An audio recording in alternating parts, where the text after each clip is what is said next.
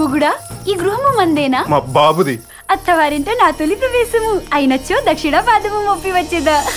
మోపక్కర్లేదు ఓపక్కర్లేదు అత్తవారిల్లు మామగారిల్లు అని మాట్లాడగా చీరేస్తాను. సైలెంట్గా ఉండు. అసలు ఇంట్లో వాళ్ళని అలా మన చెల్ల తెలియట్లేదు. ఈ అమ్మాయి ఎవర్రా? అది అది? ఆ పొద్దున్నే మన ఇంట్లో పరమ్మాయి మానేస్తుందని చెప్పావు కదా అందుకే కొత్త పని మనిషిని తీసుకొచ్చాను. బాలకం చూస్తే అలా లేదే? ఆ- డ్రెస్ దండ చూసే కదా నీ డౌట్ ఇంతకు ముందు బాగా డబ్బున్న వాళ్ళ ఇంట్లో పనిచేసింది. వాళ్ళ దగ్గర మానేసేటప్పుడు వాళ్ళు సెండ్ ఆఫ్ ఇస్తూ కొత్త బట్టలు పెట్టి దండేసి దండం పెట్టి పంపించారు! ఇంటికి దొంగతనానికి వచ్చినోడి మాట అయినా నమ్ముతాను కానీ నీ మాట మాత్రం నమ్మనరా. అంతేలే నాన్న. అమ్మ మీద ప్రేమే లేనప్పుడు నా మాట మీద నమ్మకం ఎలా ఉంటుంది? పని మనిషి మానేస్తుందని పుట్టుడు దుఃఖంతో ఉంటే ఆవిడని ఓదార్చాల్సింది పోయి ఇలా దండయాత్రలు చేస్తారా? సిబిఐ వల్ల క్వశ్చన్ వేసి చిరాకు పెడతారా.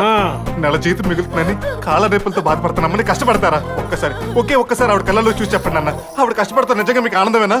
ఏయ్, ఎదో డైలాగ్ లాపరా. ఇంటిని కూడా నాటకరంగం చేసేస్తున్నావు. ఈ భూలోకమే ఒక నాటక రంగం ఇక్కడ రిహార్సల్స్ ఉండవు. ఓన్లీ ఎంట్రీలు ఎగ్జిట్లే. ప్రశ్నకి సమాధానానికి సంబంధం లేకుండా వాకటం ఇది ఆడటం సరిపోయిందిరా. మీ చావు మీరు చావండి. యావండి మీ తమ్ముడు ఈ అమ్మాయిని ఎక్కడో ఏ గుడిలోనో పెళ్ళి చేసుకొని మనకి పని మనిషిగా చూపెడుతున్నాడని నాకు ఎందుకో అనుమానంగా ఉంది. నేను చేసిన తప్పే మా తమ్ముడు కూడా చేసింటావా అమ్మా వద్దమ్మా ఏడవద్దమ్మా నీకోసం పనమ్మాయిని తీసుకొచ్చానమ్మా. ఏమా లోపల పాత పనమ్మాయి బట్టలున్నాయి వెళ్ళి వేసుకో. ఇప్పటికే చాలా లేట్ అయిపోయింది.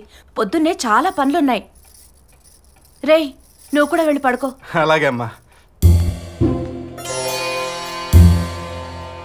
అంతా ఈ దండ వల్ల వచ్చింది.